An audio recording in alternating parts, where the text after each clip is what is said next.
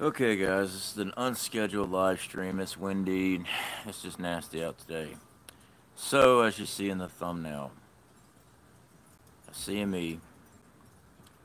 Now, I have had a lot of emails come my way.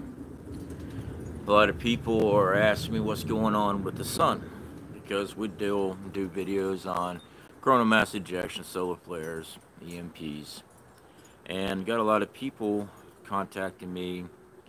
This is it. You need to be checking this channel out here. You need to be checking out this channel here. It's a one-two punch. We're going down, all this stuff. I want to calm everybody down. Gene W, good to see you. Fiddlesticks, how's it going? I want to calm everybody down with this, okay? Now, I've been studying CME, solar flare, since 2012. Ever since the whole 12, 12, 12, Aztec, good old days back when prepping was really heavy. I'm gonna I'm gonna say it this way. The science that is out there right now shows that this that's coming our way can cause geomagnetic storms. Okay, geomagnetic storms that are not Carrington event levels. All right. Now, there's some people that might get upset with that. That's fine. I'm not here to get people riled up and fear pornish and scare the crap out of people. I'm not saying everybody's doing that intentionally. There's a lot of people who just don't understand the science behind this. No, I am not an astrophysicist. I am not a scientist. I just do my research and look at things. Now, with the corona hole that's going to be facing the Earth, it will sound uh, I do apologize for the sound because I am outdoors and it is very windy out here. Let me double check my sound here. Guys, do y'all have uh, do y'all have sound? Give me a one if y'all have sound. I can't tell. Um, let's get my phone. Get out of here, cat. I don't like cats. Anyway, if you like cats, good for you. I just don't. I'm a dog person. So this corona hole, guys it will be facing Earth directing. All right. Now there will be play on the Earth's magnetic field. All right, the magnetosphere. It will be affecting that. Now with the CME following up behind, yes, it will press on Earth's magnetic field. It is weak. Our magnetosphere is weak. We know that. I've done videos on that. But the intensity levels of this, it's not even going to be as strong as the Toronto, Canada event that happened that small CME solar storm that knocked out their power for about eight hours, it's not even going to be that strong. Now, will we see auroras lower than usual? Yes, that's because the, so, the magnetosphere is moving a lot because that coronal hole is affecting it. But it's not going to be this one-two punch and this is it. I don't I don't see the science there. So I'm not on here to lambast anybody. That's not what I'm here to do. Um, I appreciate comments and emails from people all the time, guys. I really do. But when I'm saying it's not what is being spilled out on the internet, it's not what's being spilled on the internet. There's a lot of YouTubers running with this is it. This is the end. CME's popping off as a one-two hit. It's not, guys. All right. So if you're preppers, hopefully you've already took our suggestions and our builds on do-it-yourself Faraday cages, things like that. You should already have your equipment in these things that you want to survive a EMP and a CME. So you're you're good in that department. Um, and again, guys, this is not an attack on anybody. Uh, Wonder American VP Earthwatch calls it a good learning experience. VP Earthwatch is a good channel. I haven't got to see him today. Uh, I was doing analytics and stuff and changing thumbnails around in my last video, it, uh, oh well. I got to work on my speech patterns or something like that. I don't know. But anyway, let me see here and get in the chat right fast, guys. So I'm just on my cell phone. So, uh, Wonder America Vicky Savage, good to see you. Mary Lee Lockwood, how are you doing? Kelly, how's it going? I did see Southern Boy Prepper. How's it going, brother? If I find out how good the grid is, you'll find out how good the grid is. Uh, Free Press 666. Yeah, yeah, exactly. But we're not, the intensity is not even supposed to be as bad as it was with the Toronto event where their power got knocked out. So I'm not putting much stock into it. Uh, I appreciate where everyone's contacting me on this. I watch the solar weather every day when I get up. That way I know what we're facing as far as the Earth from the sun because we're big on grid down situations. I get recommended a lot of channels. I want to say this.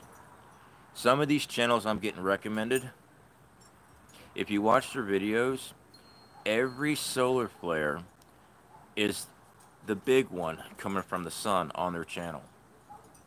Every video. So, taking that information, I'm sorry if my camera keeps going dark. It's just not very good lighting right here. I got the sun glaring on me. So every single one is a, oh my God, it's going to happen. They're not, they're not looking at the science of the sun at all. They're looking at the spiral imagery and they see a solar flare. They see, they see the funnel coming at us. That's always coming at us. Okay, just because they see that does not mean it's the Earth destroying CME as far as the grid. One of the things I will tell you, we have a satellite that stays in orbit, but it stays in position all the time between the Earth and the Sun. Now, this is a failsafe that NASA and the government has been working for. When that goes out, then you know the intensity is so strong that it's going to affect the country, it's going to affect the world. That is their failsafe. That's fine. So this whole thing, guys, no. Even if doomed. uh, see here. Greg has been the leadership of those who are trying to harden our grid, he's not talking through his hat. Greg Allison, who is a rocket scientist, among other things, has just posted a video on this on both his sites. I like uh, Green Greg. I haven't seen the video yet. But with the um, corona hole that's going to be facing here, there, there's a. They believe that ham radios and things like that might have distortions. We get that with a lot of corona hole that aim directly to Earth. So, in my theory, this is nothing new. Okay. The Big one, no media channel would tell us, considering the channels. Be ready. Um, following after Jesus Christ. I completely agree with you. No, I don't think media would ever give us that information. That's why I look for the satellite feeds from these satellites that are watching the sun, and that way I can make a decision off of that. Now, I don't have the computer softwares and stuff like that NASA and these other space programs have as far as checking the intensity of stuff because I don't have that equipment. None of us do. All we can do is read the reports that come out when they are made available. But that particular fail-safe satellite, if that goes down, then we know it's a big one. If it doesn't, we're good. All right. The satellites that are in orbit around the Earth, they're not hardened against that. They will go down too. So you got you got a couple warning systems that are out there, but I'm not seeing what's being spilled out right now about it's the end of the, end of the grid and everything because of this. I really ain't. But anyway, guys, this was just going to be a quick stream. I just wanted to get that information out there because, like I said, I'm receiving a lot of emails on this, and I'm seeing a lot of channels running with this. Just be prepared, okay? As long as you're prepared, you don't have to be fearful in anything. You're just ready for it. Okay? Would it suck? Well, yeah, of course it would suck. But I'm not seeing the evidence as far as this being what's being spilled out by YouTubers. It's just not there. So anyway, guys, definitely appreciate you hanging out with us. Uh, what did y'all think about the Cascadia video that I did yesterday? Well, released yesterday. I was kind of curious. We got some good feedback on it. Um, I'm not really sure. We'll be here in a year, no worry. Oh yeah, well, people, yeah, as long as you're prepared, especially with a CME or something like that, Um, yeah, as long as you're prepared, you should definitely be thriving after such an event. Um, it's just the ones that are not prepared, they're the ones that's going to have a hard time. But that's why we got the YouTube videos, right? To get people ready. Thanks for not acting like the other channels. Uh, like I said, guys, I'm, I'm not attacking any channel at all. It's just I've been watching this stuff for a while, and it's the evidence just isn't there. I, I was on a live stream last night, just sitting in the chat, and I just saw constantly people in the chat, why aren't you talking about the CME as a double hit CME? I didn't even respond in the chat. I was just listening to the person that was on the live stream. I'm like, why, why is everybody so worried about this? I mean, don't get me wrong. You should always look at any threat. We're preppers. We should always look at a threat. But make sure you look at all the information as possible. Um, if you're worried about CMEs, study up on them. There's a lot of great information on them. Study up on how to watch the video feed that's released from stereo A and B. You, you, you can visually see these things. You can start studying up on this stuff. And that definitely takes a lot of your fear out because you have access to be able to understand things. Now, I will say this. If for some reason the feed from stereo and the other satellites get cut off and civilians no longer have access to be able to pull up information, we might have something going on there. Those are things I'll be looking for because I don't believe they're going to let that information be out there for warning people because of panic.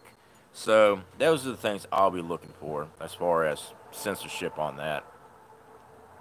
Gene W, when is this expected to happen? It's supposed to happen tonight as the first hit. And I believe also tomorrow. Uh, from what I understand and from what I can see with the storm, it's going to be a class M at the hardest, and it's it's I mean it's just barely getting into a class M stat, status, but it's still under what happened in Toronto. So I've seen comments, well, it's going to be a class X. I have not seen the evidence of that at all. Um, even even a, a, a class M, I haven't seen evidence of a hard class M. If this out there, I would like to see it, but I haven't. I've spent the last two days looking at this stuff. Um, like I said, I, I check the space weather daily. So yeah, I'm, I'm not seeing it, guys. Drama is not good practice. Carol Brooks on Cascadia, Cascadia video. All right, well that's good. Uh, I was wondering how how everyone liked it or not. Let's see here, scrolling through, scrolling through. A G3.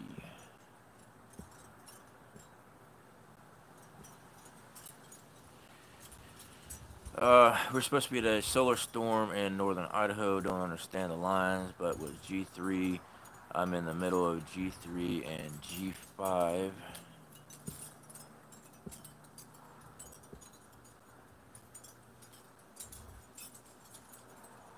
If we lose power, it'll be more of the same. Been out two times a day already. Yeah, so I'm pretty much only expecting this storm to actually cause interference with radios ham radios, maybe internet issues as far as wireless internet, stuff like that. And that just goes in with your normal geomagnetic storms, disturbing what we're using as far as frequency wise that way. But I'm not seeing I'm not seeing anything strong enough to knock out the grid.